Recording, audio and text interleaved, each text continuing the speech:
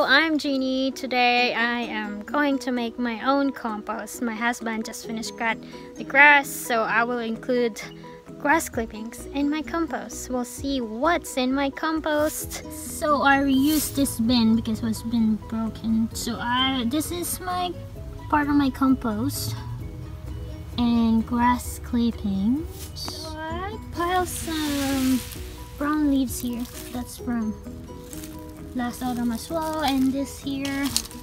And there's some beautiful flowers in here. I think it's called rhododendron. Correct me if I'm wrong.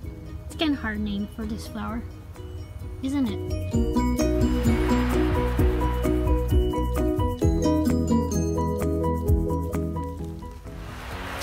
Said compost will take like six to eight months. We'll see. That will be a long time. Maybe this compost I'll use this next year.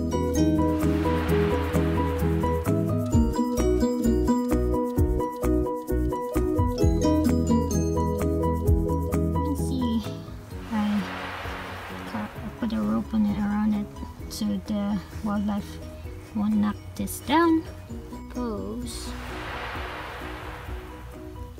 so you will see worms in your compost. And actually it doesn't smell thank you for watching my video. Please give a like share comment and don't forget to subscribe. Thank you. Bye bye